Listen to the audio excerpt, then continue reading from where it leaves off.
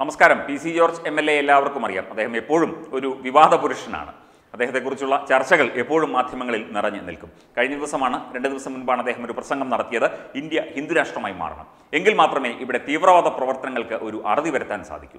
അദ്ദേഹം അത് മതവുമായി ബന്ധപ്പെട്ട് പറഞ്ഞതേയല്ല. ഹൈന്ദവ സംസ്കാരവും സനാതനധർമ്മ മൂല്യങ്ങളും പിന്തുടരുന്ന ഒരു രാജ്യമായി മാറണം എന്ന് മാത്രമേ ശ്രീ പി സി ജോർജ് ഉദ്ദേശിച്ചുള്ളൂ. അതിന്റെ വിശദീകരണങ്ങൾ അദ്ദേഹം തരികയും ചെയ്തു. തീർച്ചയായും അത്തരത്തിലൊരു ഒരു ഒരു ഒരു സംസ്കാരം ഇവിടെ പുലരുകയാണെങ്കിൽ ഇവിടെ ഈ മത തീവ്രവാദ ശക്തികൾ പിടിമുറുക്കില്ല അവർ തോറ്റോടും എന്ന ഒരു നിഗമനത്തിലേക്കാണ് Shri P C George M L A എത്തിയത്. അദ്ദേഹം അദ്ദേഹത്തിന്റെ നാട്ടിലെ തന്നെ ഈരാറ്റുപേട്ടയിലെ തന്നെ കാര്യങ്ങൾ പറഞ്ഞുകൊണ്ട് ആ ഒരു പ്രസംഗത്തിലും സൂചിപ്പിച്ചിരുന്നു. അതിന്റെ വിശദാംശങ്ങളാണ് ഇന്ന് ഇപ്പോൾ ലവ് ജിഹാദ് എന്ന് പറയുന്നത് ഈരാറ്റുപേട്ട പ്രദേശത്ത് അതായത് ഒരു ഒരു പ്രാദേശിക മേഖലയാണ് ഈരാറ്റുപേട്ട മുനിസിപ്പാലിറ്റി. ആ ഒരു പ്രദേശത്ത് തന്നെ ലവ് ജിഹാദ് നിരവധി കുടുംബങ്ങളെ പിടിമുറുക്കിയിരിക്കുന്നു. നിരവധി കുടുംബങ്ങളിൽ നിന്നുള്ള പെൺകുട്ടികൾ ഹിന്ദു ക്രിസ്ത്യൻ പെൺകുട്ടികൾ ഇതുപോലെ മതം മാറി അന്യ സ്ഥലങ്ങളിലേക്ക് പോവുകയും പലരെയും കാണാതാവുകയും ഒക്കെ ചെയ്തിട്ടുണ്ട് എന്ന സൂചനകളിലേക്കാണ് ആ പ്രദേശവാസി കൂടിയായ Poonjar M L A P C George എത്തിയിരിക്കുന്നത്. ഇത് ഏറ്റവും ഇതിപ്പം ഈരാറ്റുപേട്ട എന്ന ഒരു സ്ഥലം അതൊരു പ്രതീകമായി മാത്രം നമ്മൾ എടുത്താൽ മതി. ഇതുപോലെ തന്നെ കേരളത്തിന്റെ വിവിധ മേഖലകളിൽ വിവിധ പ്രദേശങ്ങൾ കേന്ദ്രീകരിച്ച് തീവ്രവാദ സംഘടനകൾ പ്രവർത്തിച്ച് ലവ് ജിഹാദ് എന്ന ഭീകരവാദ ആശയം എന്ന തത്വം ഇങ്ങനെ അടിച്ചേൽപ്പിച്ച് പെൺകുട്ടികളെ മയക്കി ക്രിസ്ത്യൻ ഹിന്ദു പെൺകുട്ടികളെ മയക്കി ഇങ്ങനെ മതം മാറ്റി കൊണ്ടുപോകുന്ന അത് വിദേശത്തേക്ക് കൊണ്ടുപോകുന്നവരുണ്ട് കല്യാണം കഴിച്ച് താമസിക്കുന്നവരുമുണ്ട് മതം മാറ്റിയിട്ട് കല്യാണം കഴിച്ച് താമസിക്കുന്നവരുമുണ്ട് നമ്മൾ അതും പറയുന്നു കേട്ടോ. ഇതിപ്പോൾ കഴിഞ്ഞ ദിവസം ഒരു റിപ്പോർട്ട് വന്നു തത്തുമയും ആ വാർത്ത നൽകിയിരുന്നു. ഏതാണ്ട് അറുന്നൂറിലധികം പെൺകുട്ടികളാണ് ഈ രണ്ട് വർഷം കൊണ്ട് രണ്ടായിരത്തി പത്ത് രണ്ടായിരത്തി ഇരുപത് രണ്ടായിരത്തി ക്ഷമിക്കണം രണ്ടായിരത്തി പത്തൊൻപത് രണ്ടായിരത്തി ഇരുപത് വർഷത്തിൽ അറുന്നൂറിലധികം പെൺകുട്ടികളാണ് ഇത്തരത്തിൽ മതം മാറ്റത്തിന് വിധേയരായത് അല്ലെങ്കിൽ നിർബന്ധിത മതപരിവർത്തനത്തിന് വിവാഹത്തിലൂടെ. ലവ് ജിഹാദ് എന്ന ഈ നമ്മൾ പേരെടുത്ത് വിളിക്കുന്ന ഈ ഓമന പേരിട്ട് വിളിക്കുന്ന ഈ ഒരു സംഭവത്തിലൂടെ മതം മാറി മുസ്ലിം സമുദായത്തിലേക്ക് ചേർന്നത്.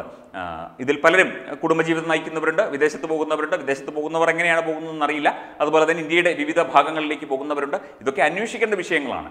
ഇത്തരത്തിൽ ഇതൊരു സാമൂഹ്യ വിപത്താണെന്ന് പലകുറി. ഇത് ഈ സാമൂഹ്യ വിപത്ത് എന്ന പദം ഞാൻ പലകുറി ആവർത്തിക്കുന്നു. പ്രേക്ഷകർക്ക് ആവർത്തന വിരസത തോന്നിയാൽ ക്ഷമിക്കുക. കാരണം അത് അങ്ങനെയാണ്. അങ്ങനെ ആയതുകൊണ്ടാണ് അങ്ങനെ പറയുന്നത്. ഈ ഒരവസ്ഥയിൽ സ്വാഭാവികമായും ഒരു സമൂഹം അല്ലെങ്കിൽ മനുഷ്യ സമൂഹത്തെ കാർന്നു തിന്നുന്ന ഒരു വിപത്താണ് ഈ മതവൽക്കരണവും ഇത്തരത്തിലുള്ള ഈ ലൗജിഹാദ് പോലെയുള്ള പ്രക്രിയകൾ. അത് ഈരാറ്റുപേട്ടയിൽ മാത്രമല്ല സംസ്ഥാനത്തിന്റെ വിവിധ ഭാഗങ്ങളിൽ ഇത് പിടിമുറുക്കിക്കൊണ്ടിരിക്കുകയാണ് എന്ന റിപ്പോർട്ടാണ് വരുന്നത്. ഇവിടുത്തെ അന്വേഷണ ഏജൻസികൾക്കോ അല്ലെങ്കിൽ കേരളവും കേരളത്തിലെ ഭരണകൂടത്തിനോ ഒന്നും ഇതൊന്നും ഒരു വിഷയമല്ല എന്നതാണ് ഏറ്റവും ദുഃഖകരമായ സത്യം. ശ്രീ പി സി ജോർജ് പറയുന്നത് ഈരാട്ടുപേട്ടയിലും ലവ് ജിഹാദ് പിടിമുറുക്കുന്നുണ്ടെന്നും ഇത് വെറുതെ പറയുന്നതല്ലെന്നും മാധ്യമപ്രവർത്തകരോട് പ്രവർത്തകരോട് സംസാരിക്കവേ പി സി ജോർജ് അഭിപ്രായപ്പെട്ടു. വി എസ് അച്യുതാനന്ദൻ മുൻപ് ഈ ലൗജിഹാദ് ജിഹാദ് ഉള്ളതായി തെളിവ് സഹിതം പറഞ്ഞിട്ടുണ്ട്. ശരിയാണ് നമ്മൾ ആ കാര്യം ചൂണ്ടിക്കാട്ടിയിരുന്നു. രണ്ടാഴ്ച മുൻപും രണ്ടു മാസം മുൻപും സമീപ മേഖലകളിൽ നിന്ന് പെൺകുട്ടികളെ ലവ് ജിഹാദ് വഴി പലയിടങ്ങളിലേക്ക് കടത്തിയിട്ടുണ്ട് എന്നാണ് ശ്രീ പി സി ജോർജ് പറയുന്നത്. മാനക്കേടോർത്ത് കുടുംബങ്ങൾ ഇത് രഹസ്യമാക്കി വെക്കുകയാണ്. ഇതിനകത്ത് ഈ ഒരു വിഷയം കൂടിയുണ്ട്.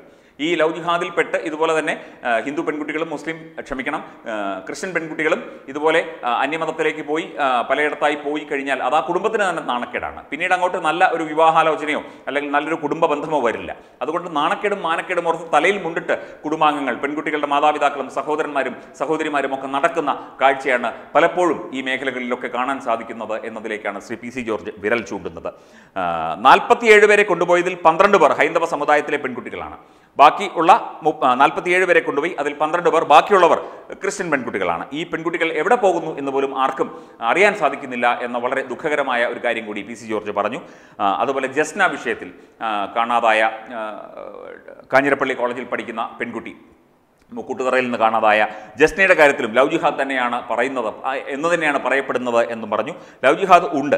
അത് ഇല്ല എന്ന് പറഞ്ഞതുകൊണ്ട് കാര്യമില്ല. ഉള്ള കാര്യം ഉണ്ട് എന്ന് തന്നെ പറയണം. അത് പറയുന്നത് കഴിഞ്ഞുള്ള പിന്തുണ തനിക്ക് മതി എന്ന വളരെ പ്രധാനപ്പെട്ട ഒരു പോയിന്റ് കൂടി അദ്ദേഹം ഈ ഒരു വിഷയത്തിൽ പറയുന്നുണ്ട്. അതായത് അദ്ദേഹം ഒരു പൊതുപ്രവർത്തകനാണല്ലോ. എല്ലാ മതസ്ഥരുടെയും പിന്തുണയൊക്കെ അദ്ദേഹം തേടുന്ന വ്യക്തിയാണ്. അദ്ദേഹം ജനപ്രതിനിധി കൂടിയാണ്. അപ്പോൾ ഇത് ഉണ്ട് എന്ന് പറഞ്ഞിട്ട് പിന്തുണ ലഭിക്കാതെ പോവുകയാണെങ്കിൽ അങ്ങ് ലഭിക്കാതെ പോട്ടെ എന്ന രീതിയിലാണ് പി സി ജോർജ് സംസാരിക്കുന്നത്. അദ്ദേഹത്തിന്റെ ഒരു ശൈലി കൂടിയാണ് ഇത്. ആനയിളപ്പ് തീക്കോയി എന്നീ സ്ഥലങ്ങളിൽ കോട്ടയം ജില്ലയിലെ തന്നെ ആനയിളപ്പ് തീക്കോയി എന്നീ സ്ഥലങ്ങളിൽ പെൺകുട്ടികളെ ലവ് ജിഹാദിൽപ്പെടുത്തിയത് ഈരാറ്റുവേട്ടക്കാരാണെന്നും പി സി ജോർജ് പറഞ്ഞു. ഈരാറ്റുവേട്ട കേന്ദ്രീകരിച്ച് ഒരു വലിയ സംഘം ഇതിന് വേണ്ടി പ്രവർത്തിക്കുന്നുണ്ട് എന്നതിലേക്കാണ് അദ്ദേഹം പരോക്ഷമായി ഇത് സൂചിപ്പിക്കുന്നത്. ഇന്ത്യ മതേതര രാജ്യമാണ് സാമ്പത്തിക സമത്വം ഇവിടെ ലഭിച്ചിട്ടില്ല സർക്കാർ തന്നാൽ മാത്രമാണ് അത് ലഭിക്കുക. എന്നാൽ ഹിന്ദുരാഷ്ട്രമായി മാറിയാൽ നിയമപരമായി അത് അർഹതപ്പെട്ടതായി മാറും എന്നുള്ള അദ്ദേഹത്തിന്റെ പ്രസ്താവന ഹിന്ദുരാഷ്ട്രം ഇന്ത്യ ഹിന്ദുരാഷ്ട്രമാകണം എന്നുള്ള അദ്ദേഹത്തിന്റെ പ്രസ്താവനയുടെ ഭാഗമായിട്ടാണ് അദ്ദേഹം ഈ ഈരാറ്റുവേട്ടയിലെ കാര്യങ്ങളൊക്കെ പറഞ്ഞത്. ഇത് വളരെ ശ്രദ്ധിക്കേണ്ട ഒരു വിഷയമാണ്. അദ്ദേഹം ഒരു ജനപ്രതിനിധിയാണ്. അദ്ദേഹം എന്ത് കാര്യവും തുറന്നു പറയുന്ന വ്യക്തിയാണ്.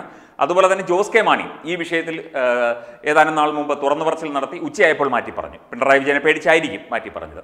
അപ്പോൾ ഈ ക്രിസ്ത്യൻ സമൂഹം നേരിടുന്ന പ്രശ്നങ്ങൾ സത്യം പറഞ്ഞാൽ ഹിന്ദു സമൂഹം നേരിടുന്ന പ്രശ്നങ്ങൾക്ക് തുല്യമായി തന്നെ ഈ ക്രിസ്ത്യൻ സമൂഹത്തിലെ പെൺകുട്ടികളും ഈ ലവ് എന്ന ഈ വലിയ വിപത്തിനെ നേരിടുന്നുണ്ട് എന്നുള്ളതാണ്. അത് മാതാപിതാക്കളും പെൺകുട്ടികളും വിദ്യാഭ്യാസമുള്ള കുട്ടികളാണല്ലോ നമ്മുടെ കുട്ടികൾ. അപ്പോൾ അവർ അടങ്ങിയിരിക്കുക. മാത്രമല്ല വളരെ ചെറുപ്രായത്തിൽ തന്നെ ഈ കുട്ടികളെ നോട്ടം വിട്ട് വെച്ചിട്ട് അവരുടെ പിന്നാലെ നടന്ന് അവരെ ഈ ലവ് ജിഹാദിൽ പെടുത്തുന്ന ഒരു രീതിയുമുണ്ട്. അത് പലപ്പോഴും നമ്മൾ കേട്ടിട്ടുണ്ട്. ആറിലും ഏഴിലും പഠിക്കുമ്പോൾ തന്നെ കുട്ടികളുടെ പിന്നാലെ നടന്ന് കുട്ടികളെ വശത്താക്കി ആ ആ സമയത്ത് കുട്ടികൾക്ക് തിരിച്ചറിവൊന്നും കാണില്ല. അവർക്ക് പ്രണയം എന്ന് പറയുന്നത് ഒരു വല്ലാത്തൊരു ഉന്മാദമായി മാറുന്നൊരവസ്ഥയുണ്ട്. ഈ ടീനേജുകളുടെ ആരംഭത്തിൽ.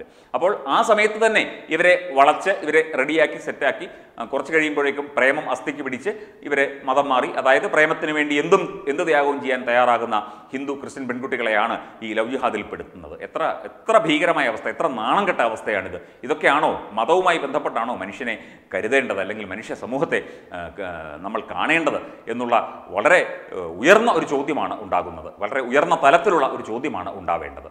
ഇത് ലൗജിഹാദ് ജിഹാദ് എന്ന് പറയുന്നത്. അതൊരു ഒരു ഭീകര സത്വമാണ്. നമ്മുടെ സമൂഹത്തെ കാർന്നു തിന്നുന്ന ഒരു ഭീകര സത്വമാണ്. അത് തുറന്നു പറയാൻ എന്തായാലും പി സി ജോർജിനെ പോലെ ഒരു ജനപ്രതിനിധി ധൈര്യം കാണിച്ചതിൽ അദ്ദേഹം സധൈര്യം അത് കഴിഞ്ഞുള്ള പിന്തുണ എനിക്ക് മതി എന്ന് സധൈര്യം പറഞ്ഞതിൽ എന്തായാലും ശ്രീ പി സി ജോർജിന് അഭിനന്ദനങ്ങൾ. Web desk Tatvame news.